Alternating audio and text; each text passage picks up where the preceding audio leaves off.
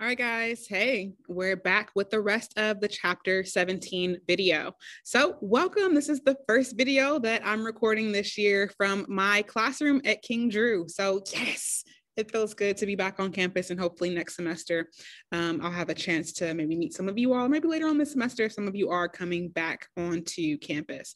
But you know, hey, let's just get right into it.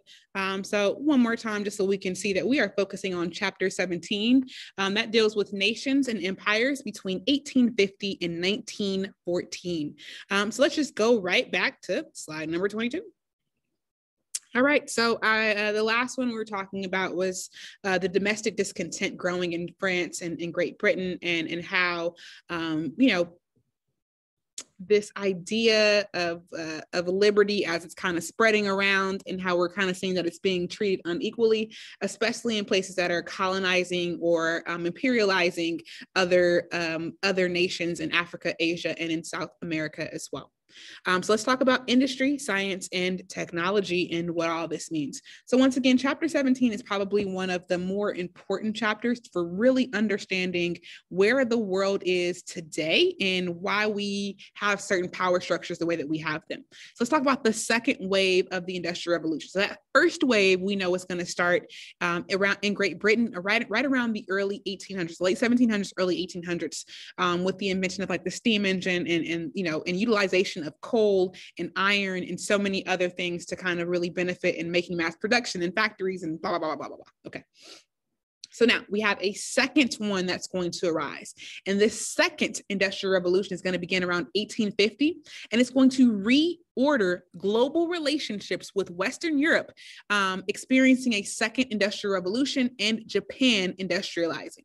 So once again, we have Western Europe is going to experience another form of in, another industrial revolution, and then a place that had previously not been as um, industrialized before uh, Japan is going to rise up during this time period. And then Russia is going to be behind it. And there's going to be a few other countries that are also going to um, industrialize and rise to the heights of some of the other countries in Western Europe. So, what does this new revolution mean? So, we have new materials, technologies, and business practices. Number one, new organic sources of powers and new ways to get sources of power, sources to processing plants. All right, so those organic organic sources of power. So we're going to see those pop up and actually let me pause.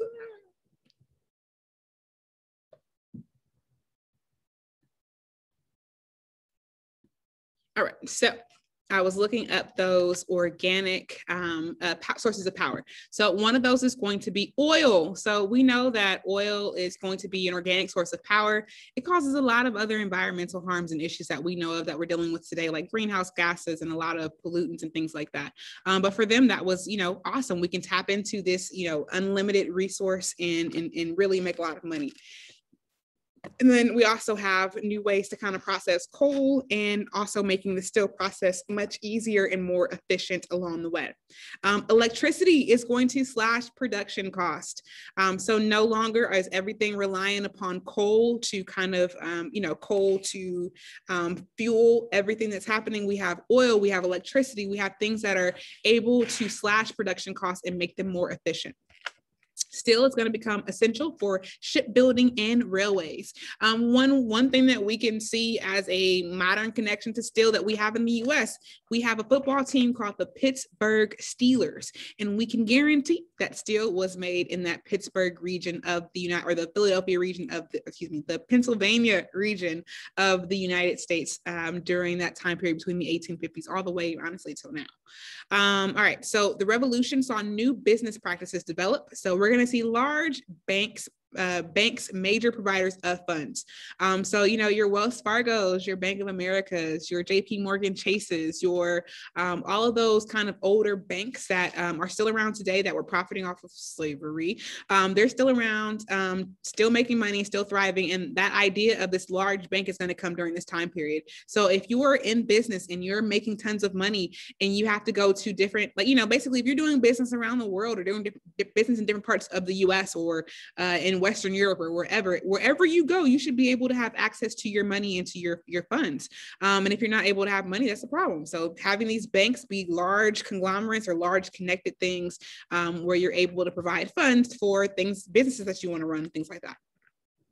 We also have the creation of limited liability joint stock companies to raise capital. Um, and these are going to be eventually going to be seen kind of as like, I don't want to say monopolies in a way, but they're kind of going to be monopolies in that they're going to really take over and control and dominate um, the steel marketplace or the oil marketplace or transportation um, or logistics and things like that. So we have US Steel, we have Standard Oil, and we have Siemens. Um, and they're going to all uh, be limited liability joint stock corporation or cap companies. Um, and to some extent, all three of these companies are still around to this day, just have changed names, except for Siemens. They're the only ones with the same, same name. All right, the integration of the second revolution, the second industrial revolution. So the integration of the world economy. The second industrial revolution concentrated and reinforced um, economic powers in North Atlantic society. So that Western Europe, and then also the, the, the, the United States of America. Those are going to be those North Atlantic societies where we're going to see um, economic power being reinforced in those areas.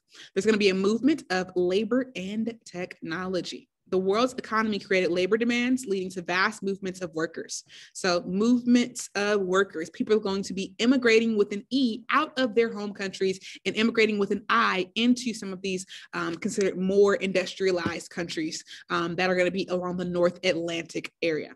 So, Indians worked on sugar plantations and railroads in the Caribbean, Mar- uh, Mauritius, um, Fiji, South Africa, and East Africa. So, India, Indians from Indian, India, um, are, are um, going to move around to all of these areas. And these areas still to this day have large Indian populations. In the Caribbean, they're called West Indians um, because it's a mixture of Caribbean and Indian heritage and cultures.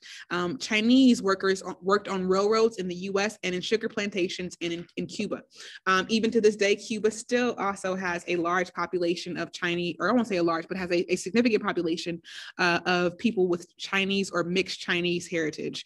Um, if we think about the railroads throughout the US, US, we think about the freeway systems or the original railroads in the United States or in California, excuse me, most of those are going to be built um, by Chinese labor. And we're going to, you know, get Chinese labor. Um, I don't even want to talk about that because as much as we take in Chinese labor, we're also going to create the Chinese Exclusion Act and try to exclude Chinese people as well. Anyway, moving on. So we have the Irish, the Polish, the Jewish people, Italians, and Greeks are going to flock factories in North uh, America.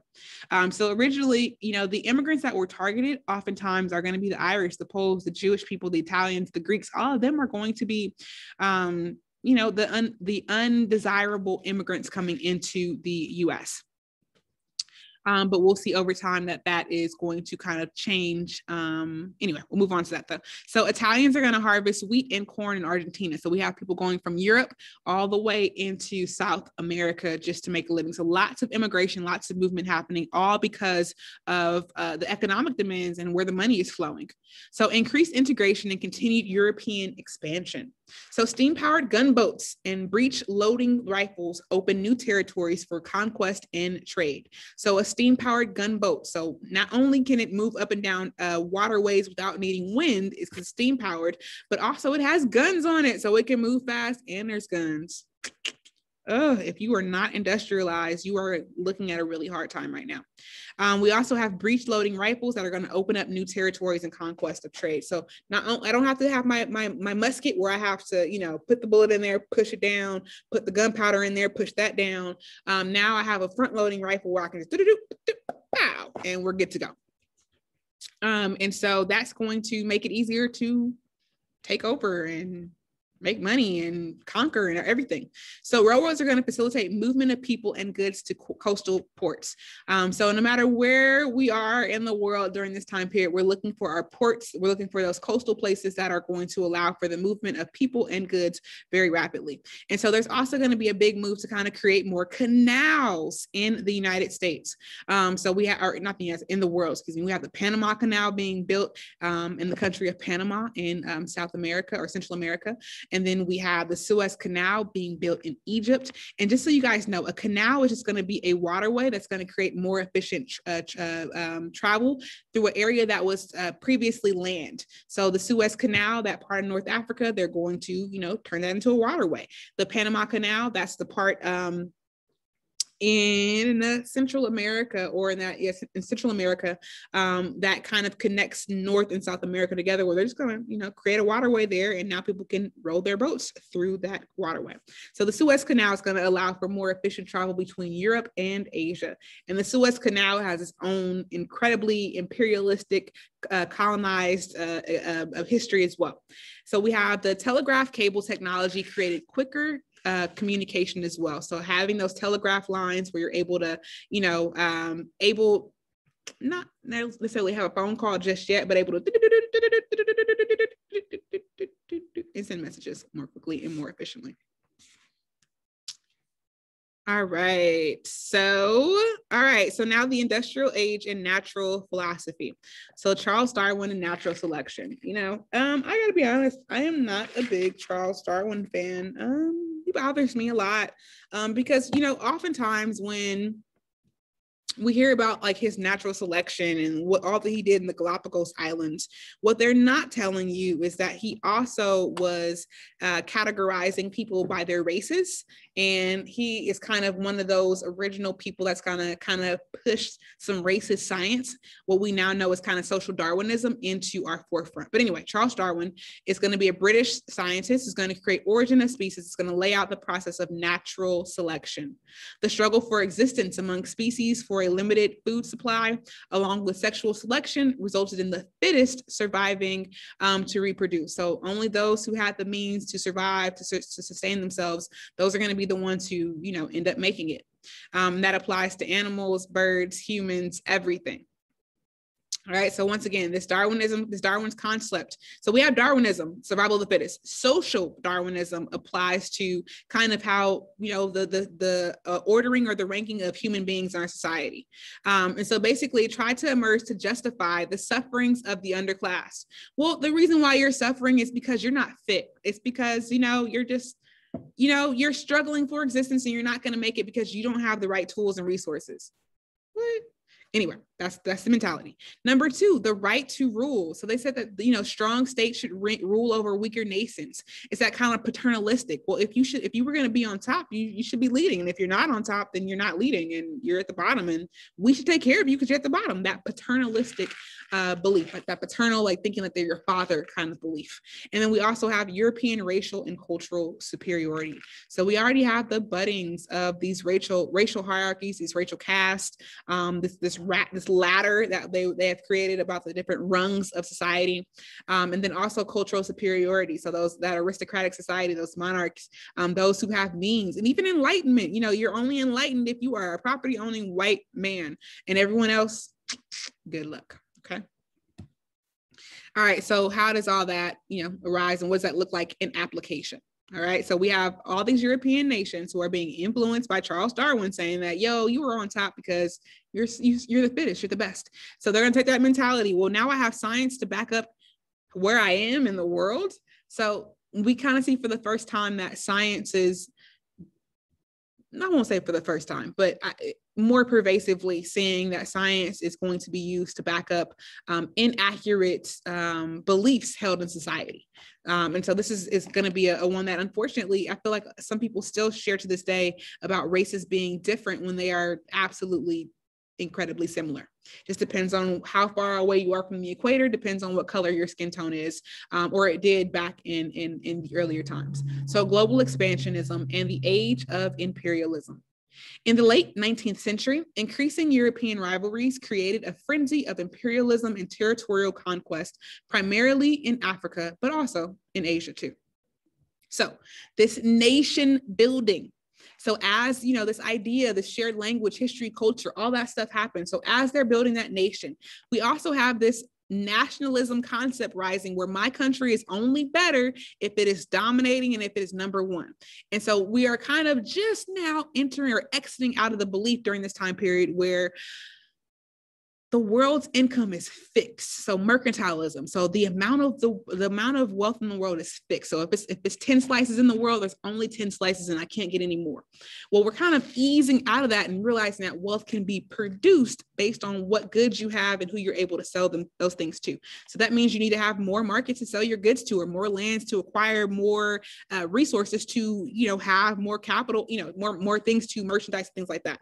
Um, so we're going to see that this nationalistic viewpoint is going to really, really be applied to how they interact in Africa and, and Asia, especially with the scramble for Africa that we're going to learn about very, very soon.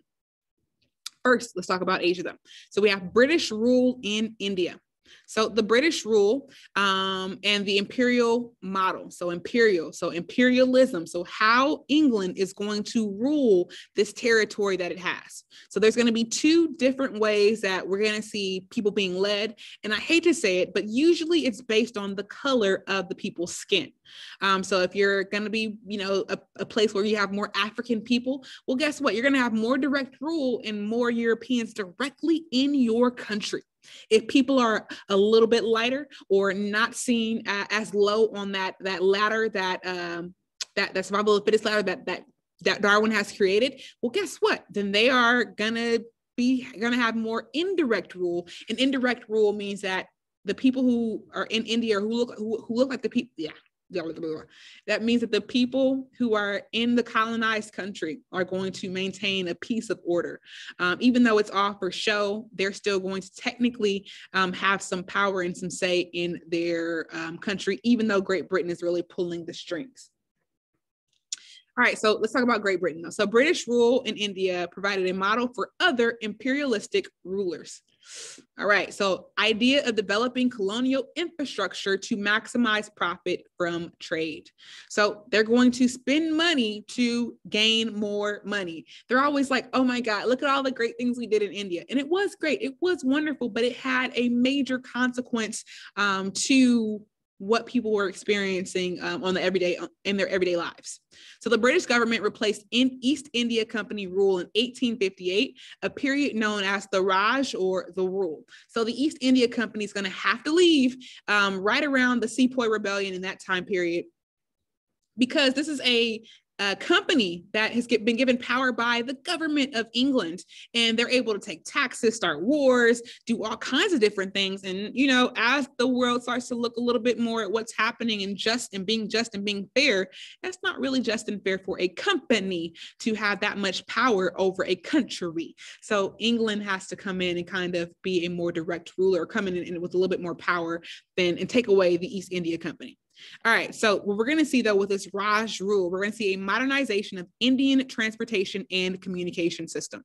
So we're going to see rapidly um, there that that England is going to industrialize India for Britain's good. So England is going to industrialize um, India so that England can continue to make money off of India. So by 1910, India is going to have the fourth largest railway railroad network in the world. So we're looking at France, we're looking at Great Britain, we're looking at the United States, we're looking at all these other, even China, and and you know we're seeing that man, really rapidly in about 50 years, India is able to rise up with their infrastructure. Other public works projects included dams and telegraph lines. So those dams, you're able to, um, you know, farm in certain areas or have people living in certain areas. I mean, there's just so many different things you're able to do if you're able to shore up and dam up water. Um, and then we also have telegraph lines, so easier ways to communicate more efficiently and more swiftly without having to rely on mail being transported either by uh, boats or by whatever it is the British instituted these public works projects to gain better access to raw materials in India and to better distribute British manufactured goods. So it might seem like, oh my God, they're so awesome for them for like creating these roads and these telegraph lines. But once again, Great Britain would not have done that if Great Britain wasn't getting any kind of money out of it. So because Great Britain put a, a dollar sign on the back of the Indians, they were like, yo, we make money off of spending a little bit of money so it's kind of like that that that that saying where it's like scared money don't make no money, or you know you have to spend some money to make some money, um, and that kind of concept. So tea plantations in Ceylon and northeastern plains of India. So we're going to see more uh, cash crop farming um, that we saw pervasive in other parts of the world that have been colonized or taken over. And so that's also is going to rise up in India during this time period.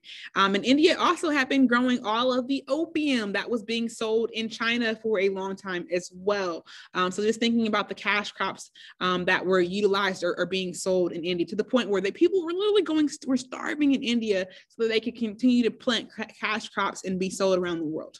So Indians developed a unified territory and nationality identities as Indians under colonial rule, but were denied basic civic and human rights with no voting rights.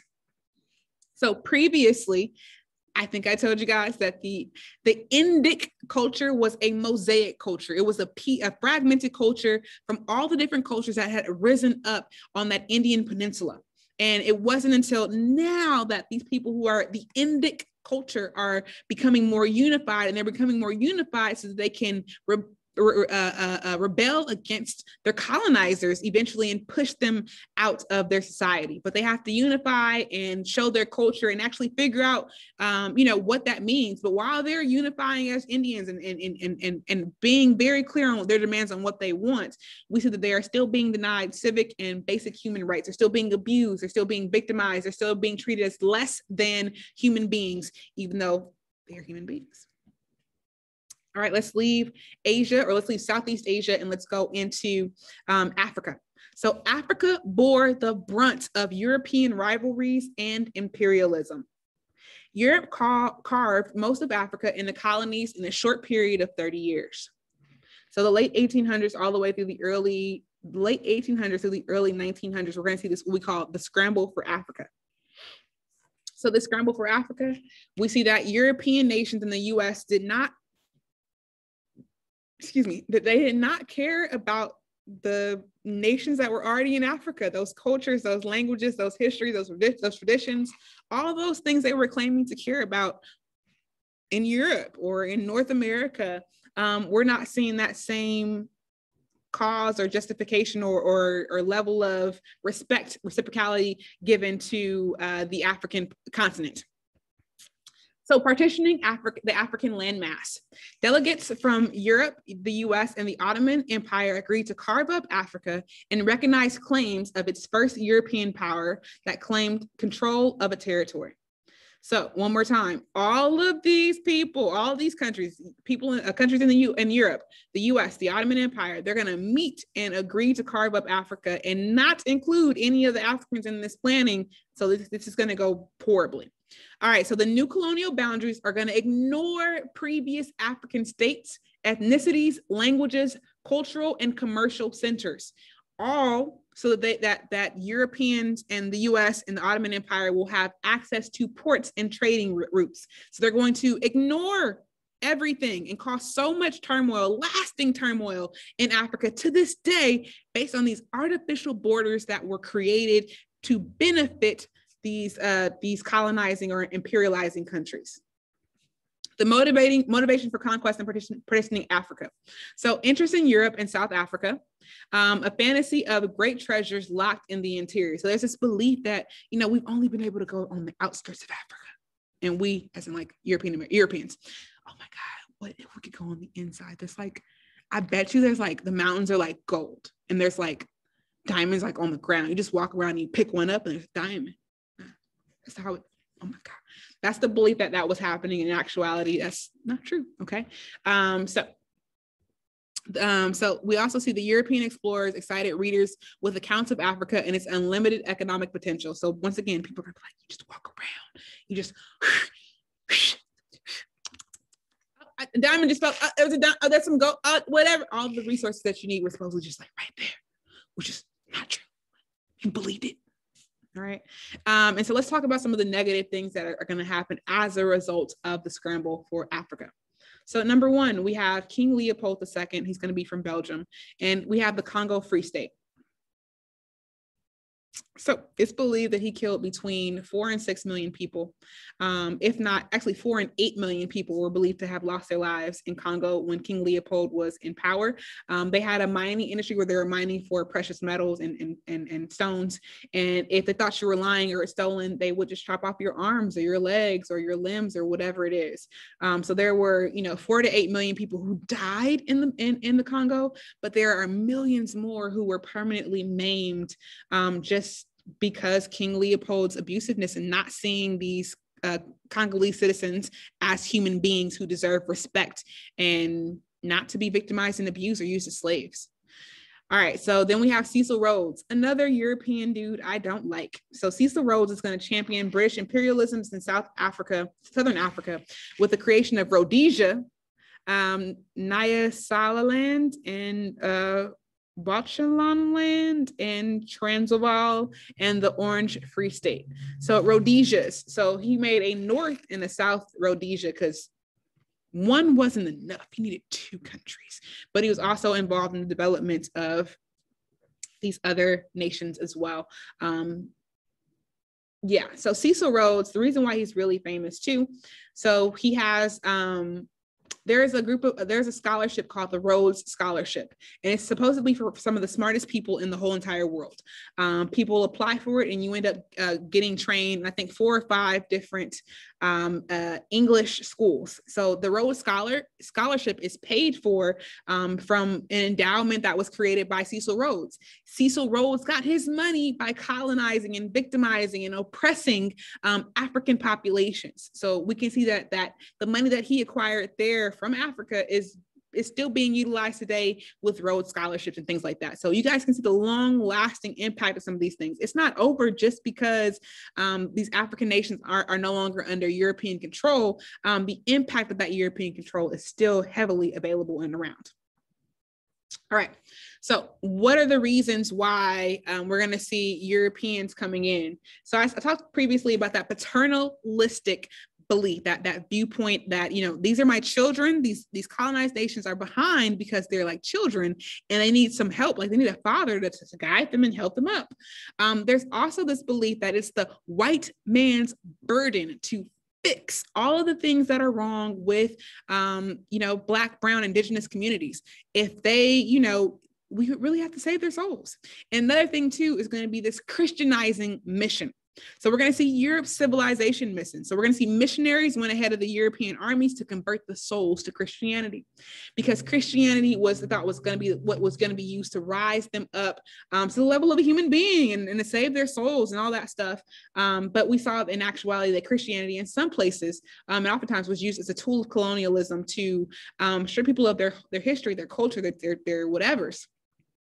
But we, we also see too, we've learned earlier in the uh, the year um, that we still had the synchronism happening, um, the syncretism happening, where African and, and, and, indigenous and Latin American communities um, were still able to retain some of their culture and their saints and their gods, but just kind of mix that into the religion, the Christianity that we know of today. So that's why when you go to like black and brown churches, sometimes they can be a little bit more lively with dancing and song and, and music. And you can have a pastor who is, you know, yelling at you or not yelling at you, but really just really emotional and feeling, feeling, feeling the message. And that is directly related to some of our indigenous traditions that carried over long after uh, Christianity had kind of come into our areas.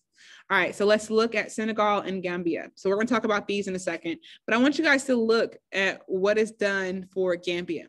Do you see how they took a waterway and they cut this little area all the way to a port and they opened that area up? So this once again you're you're not obviously these are are you're going through many people's uh many different people's popular lands or, or, things like that. So you're you're bisecting culture and territory and heritage and traditions and everything by creating this um and in no regard at all was shown to it. Um, but we'll talk about these two coming up next all right, and so then we have our um, Mandera people as well. So we can check out the map of them and see um, what's happening with them.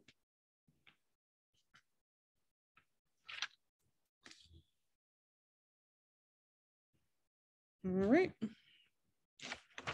All right, so here is our partitioning of Africa. All right, so 1880 through 1914. So we can see which countries are, which European countries are going to have the most parts or the most part, uh, most land in Africa. We can see that France and Great Britain are going to be by far the largest landholders um, or controllers, excuse me, in uh, in Africa between 1880 and 1914. Okay, and then we can see there's only two areas that are going to remain independent. One is Ethiopia. We're going to talk about that, and the other one is going to be Liberia. Liberia and Sierra Leone were both started. Sierra Leone, Sierra Leone started by Great Britain, and Liberia started by the United States. Like Liberia, liberty, get it? Um, and so they're both started after slavery ends to give those formerly enslaved people a place to go back to in West Africa, since most of the people who are um, enslaved are going to come from West Africa. So Ethiopia and Liberia, though, are the only two African nations that maintain their autonomy. So African resistance to colonization. So you're going to have different responses and varied responses. Um, in general, people are never going to willingly be like, yo, take my land, do it. I appreciate you big ups. Not going to happen. Doesn't happen that way. Okay. Um, so we're going to see that Africans are going to resist European rule in two different ways. They're going to surrender and negotiate with Europeans to limit the loss of autonomy. They're like, yo, if we surrender now, maybe we have a chance at kind of, you know, I don't know, just keeping a little bit of our history, our culture, our land, or whatever. And the other way is to fight directly to preserve their independence. And most are going to fight not really understanding or recognizing that Europe has superior weapons. So we have Africans not having spears and not really having guns during this time period just yet. Um, and so they're going to be annihilated when they're coming into battle, not knowing that they're going against war, uh, guns, things like that, or, or machine guns or rapidly firing guns or whatever it is. So Lat of uh, Senegal is going to die in battle with the French in 1886, and he's going to be fighting their attempts to infiltrate the interior and build a railroad railway. So you know, just like kind of with the freeway systems that go through Oh, we are back at King Drew. See the sirens? Um, so just like the freeway systems that go predominantly through the hoods in the, in, in the United States or in, in, specifically in LA, but really in the United States, um, we can see that in Africa, like people were like, you're not going to knock away my culture just to put a railroad here. Like, dude, find another place. Um, but unfortunately, they're going to lose that battle. And then we have a successful person that we have Menelik II of Ethiopia is going to be repulsed. Uh, going to repulse the Europeans by playing European by playing the European rivals against each other. So he's going to be like, "Bet I'm gonna play your games. I'm gonna put the Italians against the Germans. I'm gonna put the whoever's against the whatevers." Um, and he's going to find ways to kind of pit them against each other. And while he's doing that, he's also building up his military. He's going to get weapons from the French, the British, the Russians, and the Italians. So he's going to find ways to kind of make them put them against each other, but also to use it for his benefit so he can get weapons. Number two, he's going to study some of the uh, European militaries and what they're doing. And he's going to create a united, loyal, well equipped army based on the weapons they already have. And then, two, they're being influenced by um, European military dominance. Then we're going to see the Battle of Adwa in 1896, and Ethiopia is going to defeat the Italians in a well celebrated moment in African history. Um, so there's going to be some continued battles, but continuously, Ethiopia is going to maintain their autonomy and their freedom um, away uh, without being colonized or imperialized by a European nation. Let's keep on going. European colonial rule in Africa. So, colonial administration in Africa. So, actual power fell to men on the spot or military adventurers, settlers, and entrepreneurs. So just kind of like what was happening in India originally, you have the men on the spot, those direct people who are going to um, be in control of everything. And we have a rough and ready system. Rough and ready systems led to violent African revolts. Um, so Africans are not going to willingly agree to, you know, the abuse, the negative things that were happening. So they're going to fight back, especially when they know they are outnumbering the Europeans. Then colonial rule had to create a more efficient, had to create more efficient administration, healthcare, and education. So just like what was happening in India, you got to duplicate that and replicate that in Africa as well. So we need more healthcare, we need more education, we need more efficient administration um, of the the business of the, of the economy of everything that's happening in Africa, and we're going to see that uh, that Europe is going to make an attempt to do all those things. So, with civilization goals unmet, Europeans stripped conquerors of absolute powers, monitored them more closely, and assumed greater responsibility for colonized people. So, because they put all, like, because these European nations put all this power in military adventurers and settlers and entrepreneurs, they failed them. So Europe is going to be like, yo, if we want to make this Africa thing work, we actually have to put people that we are, you know, the government people um, in control. So Europeans are going to are going to hope that their African colonies will function like British India as exporters of raw materials and importers of manufactured goods. Um, so they were like, yo, in India, we were able to produce goods, and they have a huge population. Their population is is uh, has always been second to China's. Um, so then, not only can we produce goods in India, but they also have a huge market to buy our goods. So awesome! But then, when it comes to the Africans, the Africans don't have that same exposure or those, those needs, those European marketplaces or those goods or manufactured goods. Um, so it's going to be quite an unequal exchange, though. So Africans are not going to benefit from the exchange. We're going to see African colonies are going to be um, exporters are going to lose a lot of their raw materials um, but they're not going to really benefit from the things that are coming into their country. So Africans paid a high cost in regards to their traditions, social, economic, and political lives. So just like in Native uh, American cultures, we're going to see that when Europeans come in and colonize, they're not going to show any respect for their traditions, their cultures, their economy, their political life, their anything. And that's going to lead to major destruction. Um, and no one cared and even to this day, I feel like a lot of um, communities that were colonized and, and, and, taken over are still dealing with the PTSD and after effects um, and the fragmentation that comes along with it as well. Um, so European colonial rule was fragile and relied on African military and police forces. So basically it relied on paid Africans to keep other Africans in line. Um, that's why, you know, everyone who is your skin folk is not your kin folk. Uh, and I'm sure you guys know what that means. Just because someone looks like you does not mean they always have your best interest at heart. But I think that um, Europeans recognized early on that they would get more buy in and more respect if orders came from people who looked like the people in the country versus from Europeans who came from outside of Africa, Asia, um, South America, North America, and so on. All right, let's talk about the African American expansionism.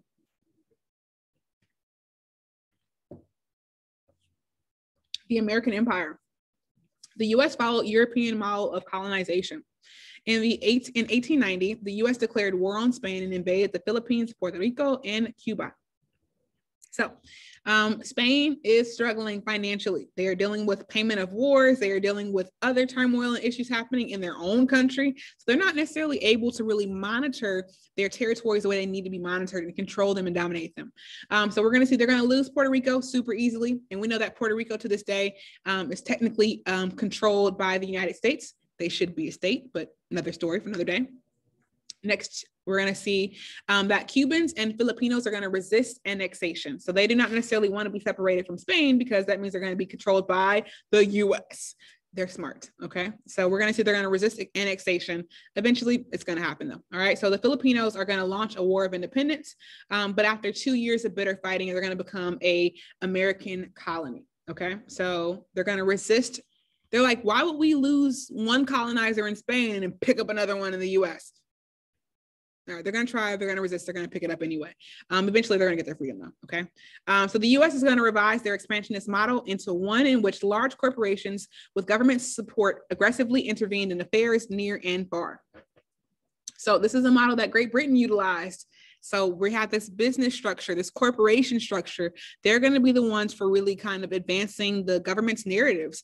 Um, and even to this day, we see the impact of that. One of those is uh, Ooh, I want to say the Ch- Dole, Dole, the Dole company. Um, I want to say like the Chiquita Banana Company. I can't think of the the mother the mother company for that. Um, but there are a lot of companies, even to this day, that are around today that we support today um, that played a role in colonizing um, in Africa and in Central America, unfortunately.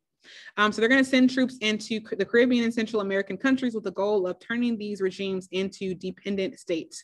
So we want to basically strip away more culture, strip away more heritage, strip away more legacy, and replace it with the United States and kind of how they do business.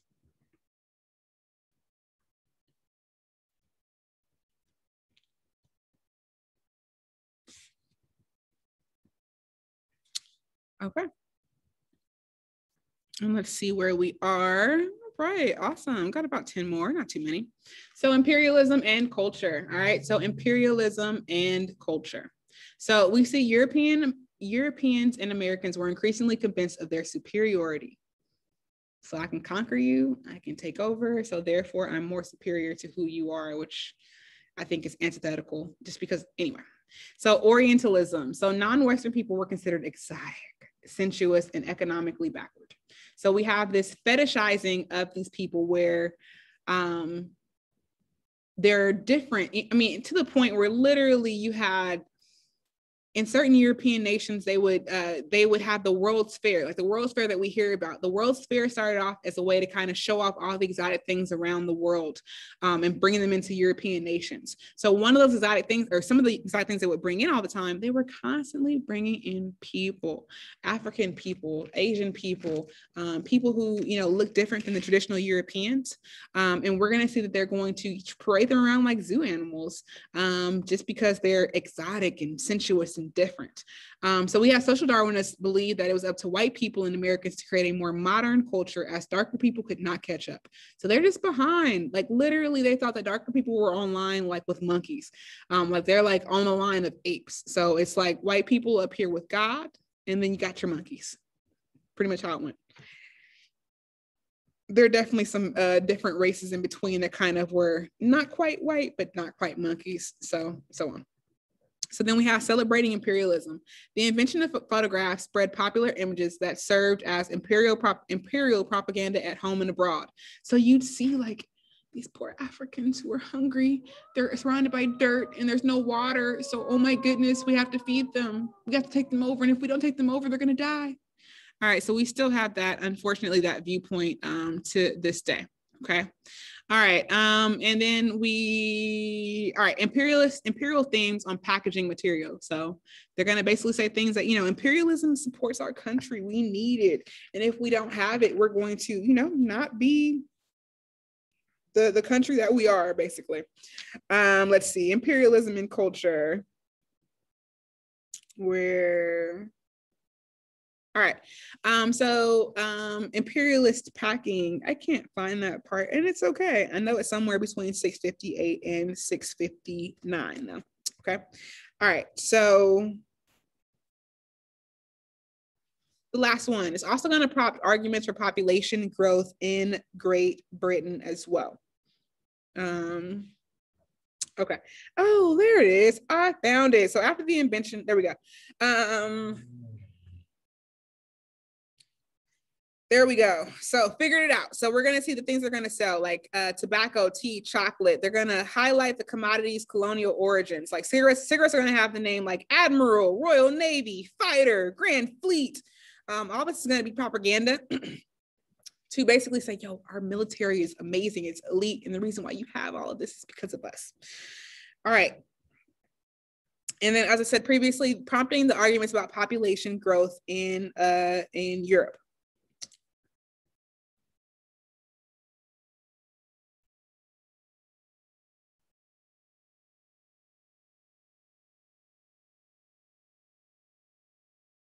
All right. So the propaganda, propaganda promoted imperialism abroad, but also in, inspired changes at home.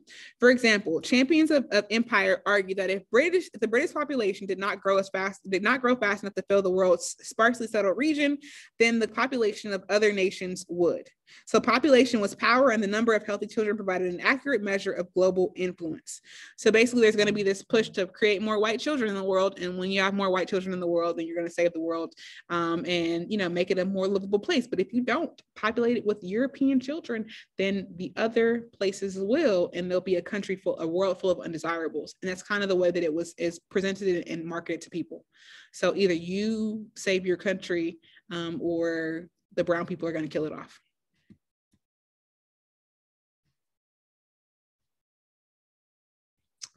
All right, let's leave and let's talk about so how other places are going to um, really rapidly take over and expand. So the pressures of expansion in Japan, Russia, and China. Looking at page like 659 on down. So in Japan, Russia, and China provided three contrasting models of expansion and conquest in East Asia. So Japanese transformation and expansion. All right, let's look at what Japan does. So in the 1850s, the Americans, Russians, Dutch, and British forced, uh, forced the Tokugawa rulers to accept treaties opening Japanese ports. So those unequal treaties that were happening in Japan, well, guess what? Here they, I mean, this, the unequal treaties that were happening in China, well, now they're coming to Japan. All right, here it goes. So in the 1860s, Japanese rulers tried to recast Japan as a modern nation state. So they were like, yo, we have learned from these Europeans who have been coming in, we've been taking notes. Um, we are actually, you know, more modern. We're not, you know, like the other places that need to be taken over. We're, we're, we're pretty advanced. We don't need to be colonized. And so in the 1860s, so 1868, we had the reformers toppled the Tokugawa shogunate. We're going to be prom- uh, and promising to restore Japan to its former mythic greatness. All right, so here we go. So we have Emperor Mutsuhito and the Meiji Restoration. So we're going to see the Meiji Restoration. We're going to see the founding of schools, the initiation of propaganda campaigns. So J- Japan is the best, China is the worst, um, and kind of, and even that's going to lead us into World War One and World War Two. Anyway, and it's also going to revamp its army to create a single na- national fighting force. So it's going to look to Europe. It's going to look over there to the east and be like to the uh, to the west technically um, from japan and they're going to be like yo we got to get our military up. We have to get more modernized. We have to um, do more propaganda to prove that we are number one to our citizens and all of that is what's going to happen in japan. So they're going to promote pol- political community, community with linguistic and ethnic hom- homogeneity comparative superiority. So everyone's going to speak the same language. Everyone is you know, going to be pretty much seen as the same. So even if you go in certain places like um, now in like in China, in Japan, and things like that, um, for the most part, most people who are living there are going to be of Asian heritage and of Asian descent. Um, unlike when you go to other places in the world, like if you go to you know parts of North America, um, you might find quite a mixing of bloods and and and of, of European blood, of indigenous blood, of native of of of, uh, of Latin blood, of African blood. I mean, whatever, all mixed together. But when you go to certain parts of Asia, you kind of see more homogeneity um, and the lack of mixing of the different racial uh, groups. Japanese transformation and expansion. So economic development during the Meiji period, Japan's economic economy transformed remark- remarkably. So in 1871, the government banned feudalism. So no more of those, you know, uh, those peasants having to work the farms of these gigantic landowners. So in fact, now we're going to see the peasants are going to become small landowners themselves. We got some buy-in from the peasants. People don't take care of their peasants, but Japan, pretty smart. Good idea.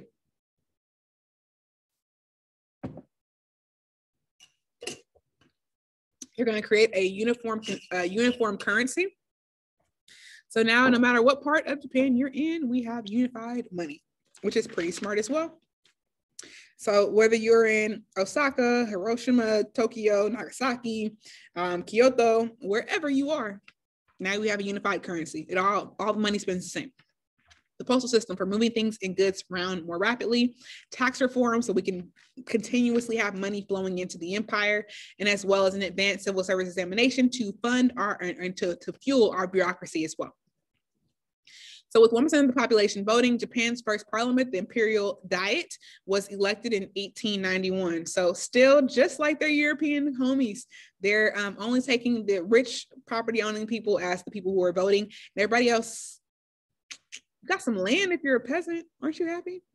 All right, so Japan developed a large scale managerial corporation based on family dynasty. So, your family dynasty and that legacy is what's going to um, lead to corporations and managerial duties. So, the government is going to put people in place to run certain companies. So, in Europe, we're going to see that business is going to uh, form i don't want to say more organically but more in a free market where people are going to um, you know kind of have ideas and, and then find funding for those ideas and then spread that that idea around. That's going to be what happens in europe. In japan they are finding families to intentionally um, create industry Next up, we're going to see women are going to marry into family alliances and serves as custodians of the home. So they are going to be like the, the big boss of the home, and their husband is the big boss outside of the home.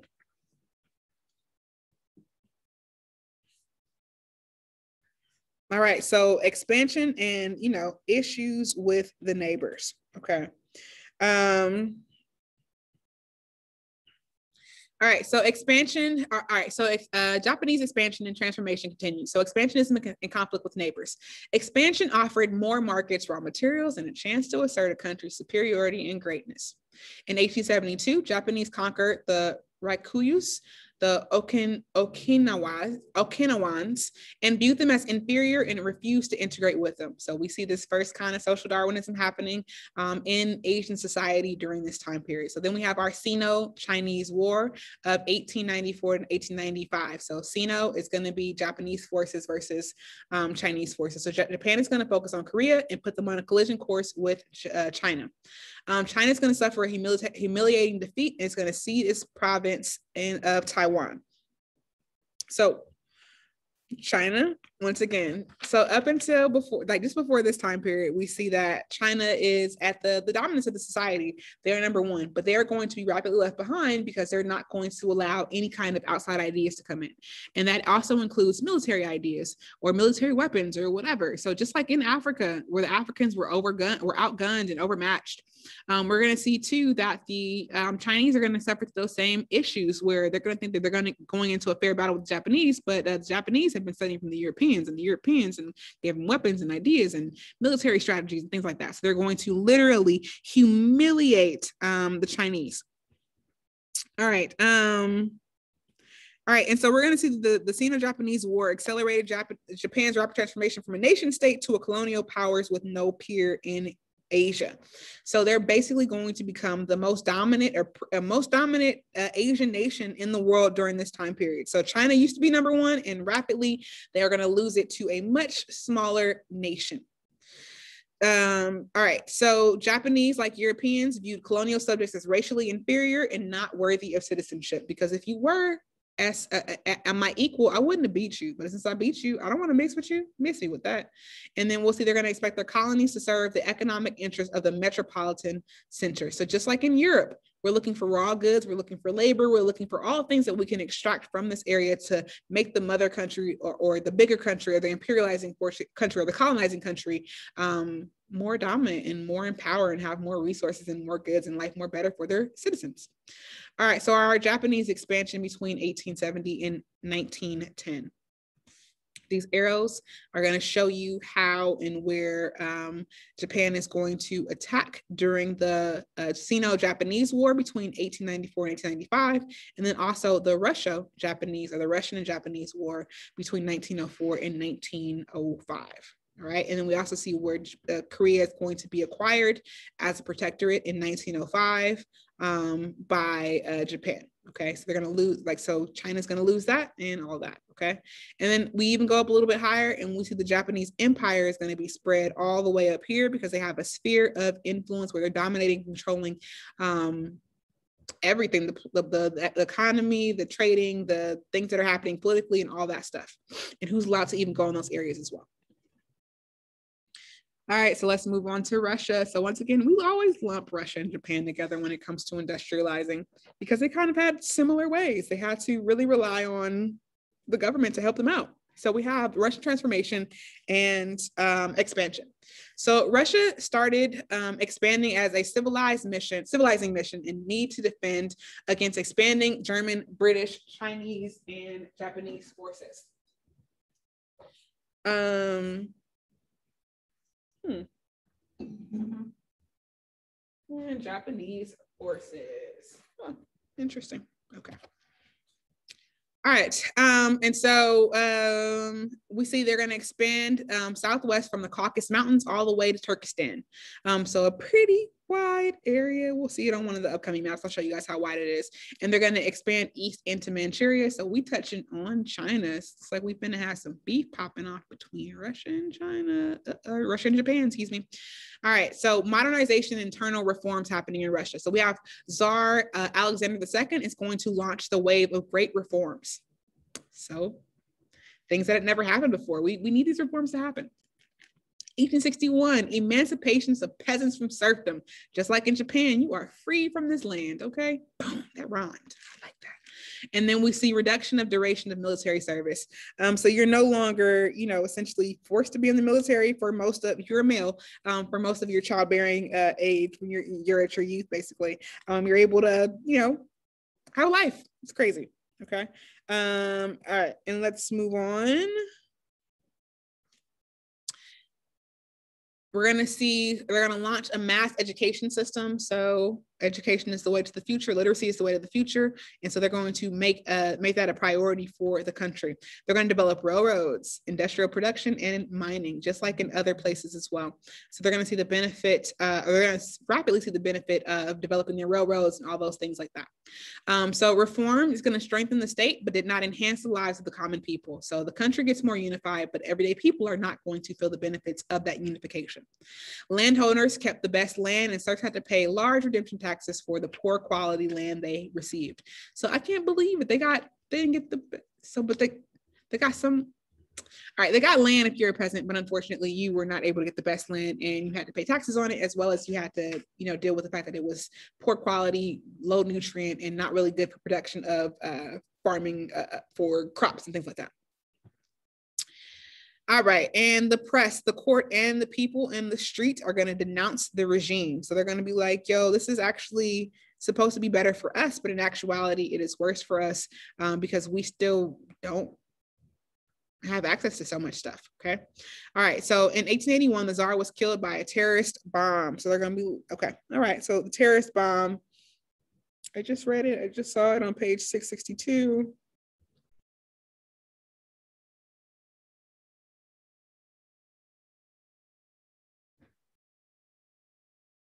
Yeah, it's okay. All right, so we'll move on though. I know it's somewhere on page 662 and I just can't find it right now, and that's okay, but just know it's there. It's highlighted on my page. I just can't find it. All right, so then we have Lee, uh, Leo Tolstoy um, wrote the dip, despotic government in wrote about the despotic government in War and Peace.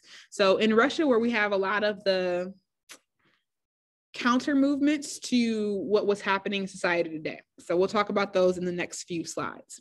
Um, so the territorial expansion. So we have Russia conquered much of the Caucasus Mountains to prevent the Ottomans or Persians from encroaching. So they're trying to save their land and they're trying to protect it from the people who are going to take it over. The Ottomans and the Persians are both known for being conquerors and and uh, using their military might to expand their territory. So Russia's like either we get unified now or we won't have the territory later. Um, Russia's going to fight the British over Turkestan, India, Iran, and Afghanistan. And their most impressive expansion is going to be into East Asia and the area north of Manchuria. So that we'll see it on the map in a second. Russia's going to found the East Asia Pacific Ocean port city of Vladivostok. Vladivostok, meaning rule of the East. I hope I pronounced that correctly. Russian's not too good. Um, and then also, we're going to see that Russia is going to make some money by getting out of North America. They're going to sell all of their territory in North America, now known as Alaska, to the US. Okay. And Alaska is going to officially become a state in the US um, in, 18, in 1959, excuse me. And they're going to build the Trans Siberian Railroad stretching from Moscow to East Asia, completed in 1916. So, a lot of rapid industrialization, a lot of rapid um, infrastructure being built, and all of these things are dictated by the government. So in Europe, we had investors who had idea or we had inventors who had ideas, found an investor, created a project, helped to industrialize society in that way. And then the government kind of caught up after the fact. In Japan and Russia, because they did not have those inventors and investors and all those ideas that kind of helped them at the beginning, they had to use their governments to unify the country first. And after they unify the country, then they would then um, build infrastructure and things that needed that were needed to take over. All right, so our Russian expansion happening over about a hundred year time year, hundred year time period from 1801 to 1914. Um, so we see the Russian expansion in 1794, and then we see how it's going to expand all the way until 1914. And so here is China down here. And so here is that Mongolian peer, uh, portion that is going to be under uh, Russian control. Here is the Manchurian portion that's going to be occupied um, by Russia, but it's going to be taken over once again by Japan from 1905 until 1910 in that area. Okay. Um, so here's the battle. Here's Japan. here's Russia, and here are the other places that are going to be taken over um, in between those areas.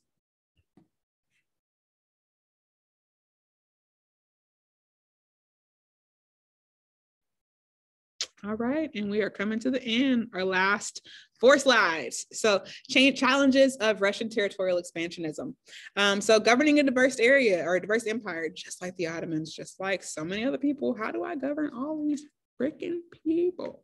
Um, the huge empire was only partially effective in integrating its diverse parts um, into political communities. Well, duh, because everyone doesn't previously have the same political styles. They're not all going to be accustomed to what's happening and they're going to take a moment to kind of get accustomed, acquainted to it. So Russia's going to tolerate and it's going to tax new people instead of displacing or slaughtering native populations, as in the US. So they're going to say, hey, we're going to tolerate you, just pay us some money and we'll leave you alone. Versus the US was like, I want your land, Native Americans, and I'm going to kill you to get it. All right. So we see the Russians are going to repress some groups, so the Polish people and the Jewish, and they're going to favor the Baltic Germans and the Finnish people. So we're going to see this kind of mixed bag on how they're going to treat people. So they're going to be kind of less harsh than the US in some ways, but they're going to be more targeted of other populations and of other groups. So Russia's going to face constant perceived threats from the Persians, from the Ottomans, um, the British troops, and the Japanese as well. So they're under constant attack all the time as they expand their empire. All right, let's leave Russia uh, or the Russian Empire and just drop a little bit further south and go into what little land China is kind of controlling right now, or I won't say little land, they have a lot of land, but they're losing their territory and their dominance. The Qing were more concerned about internal revolts than the threats from the West. So once again, the Qing are not concerned about what's happening outside of their borders or the people outside of their borders or even trying to revolutionize and modernize just like what's happening around the world they're more concerned about the internal struggles that they're happening there um, so we're going to see they're going to eventually though adopt Western learning and skills. So growing number of Chinese were troubled by the threat of European superiority of military and uh, military arms and technology. So in the 1860s, we're going to see that self-strengthening movement pop up, um, and that's going to um, basically we're going to see that they're going to China Chinese people are going to adopt Western learning and technological skills, but keep their, their Chinese culture intact. So learning and technological skills from the West cool. But the Chinese culture is going to still maintain its, its, its authority and its, its, its uh, being on top. They're going to build arsenals, shipyards, coal mines, steamships, and schools for learning foreign ways and languages. So, once again, they're going to put more emphasis in learning things from outside of their borders for the first time in a long time. Um, then we're going to see one person is Yung Wing is going to send 120 students to study abroad in different parts of the world and then bring back the information that they learned to Chinese culture to strengthen Chinese culture. So we're all, we are going to see conservative pushback. So conservative, those who are like um, want to go back to that Confucius ideals, um, those who are holding on to those, they're going to push back. And so eventually, though, we're going to see those study abroad students are going to be forced to return after the U.S. is going to reject them from their military academies. Um, so the U.S. is like, why would we educate our enemies? Doesn't seem smart. Um, and so they're going to kind of reject them and push them back. All right. And then also another thing too, we're going to see the first railroad is going to be torn up in 1877, shortly after it is built in China. So they made progress and then the conservatives in the country were like, not so much. Go back to how it was before, we liked it better. All right, so then we are going to see some new technologies are going to be adopted. So we have Chinese language newspapers. We have newspapers being printed now, um, you know, and so we, we have those. Uh, so we had the printing press originate in China. But you know, the Gutenberg printing press are being able to produce creating these newspaper plates, we're able to kind of rapidly produce newspapers over and over and over again. Um, that's going to take off and being brought into China as well. And then telegraph lines, so easier communication happening between the people last two slides. So continuing on, so internal. So China's going to def- be defeated in the Sino-Japanese War, and it's going to lead to serious attempts at reforms. They're going to be like, "Oh crap, we messed up, homie. Let's get it together." So we're going to see the 100 Days of Reform, which is going to happen from June to September of 1898, and we're going to see scholar Kang Youwei and his student Liang Qichao Um, they're going to come together and advocate for the development of railroads, state banking, a modern postal system, and institutions to foster agriculture, industry, and commerce. So they're looking for ways to bring and revolutionize and modernize China so that can stop being left behind and stop being attacked by Japan and stop being attacked by Russia and stop being attacked by so many other European nations and they can actually have a little bit of autonomy for themselves. So then we have Empress Dowager uh, Cixi, who's going to be placed on the throne, who's going to rescind these reforms and is going to execute um, six of the reforms' major leaders. So basically, some of the people who were trying to get reform were some of her nephews, and she's going to be like, "Yeah, nephew, I don't like what you got to say. You could die." And so she's going to really like forcefully um, bring um China, I guess, like back to where it was before. But what that looks like from the outside world, so when Europe sees that, they're like, yo, there's some civil wars happening in China. They need more input from white people. So we're going to see, unfortunately, more imperialism kind of come in because it's, it's they're seen as kind of disordered and, and not together. So the Chinese Qing government's refusal of reform and ineffective reforms left the country vulnerable to both internal instability and external aggression. So it's going to make them a bigger target because they're having so many issues. And we have reached the end, my friend. Chapter 17 is done. So between 1850 and, 7, in 1850 and 1914, the majority of the world's population um, lived in empires or overseas colonies and not in nation states. So after 1914, we're moving into this nation state. Before then, we're just living um, in empires or overseas colonies, but that's the majority of the world population. Okay. But after 1914, these nations are going to arise. The idea of a people was easier in concept than reality. So once again, in Europe, same history, traditions, culture, language, yes. But then you go into other places in those same European nations that were talking about culture, history, language. We're like, oh, where's the money? For many societies, colonization was intertwined with and integral to nation building.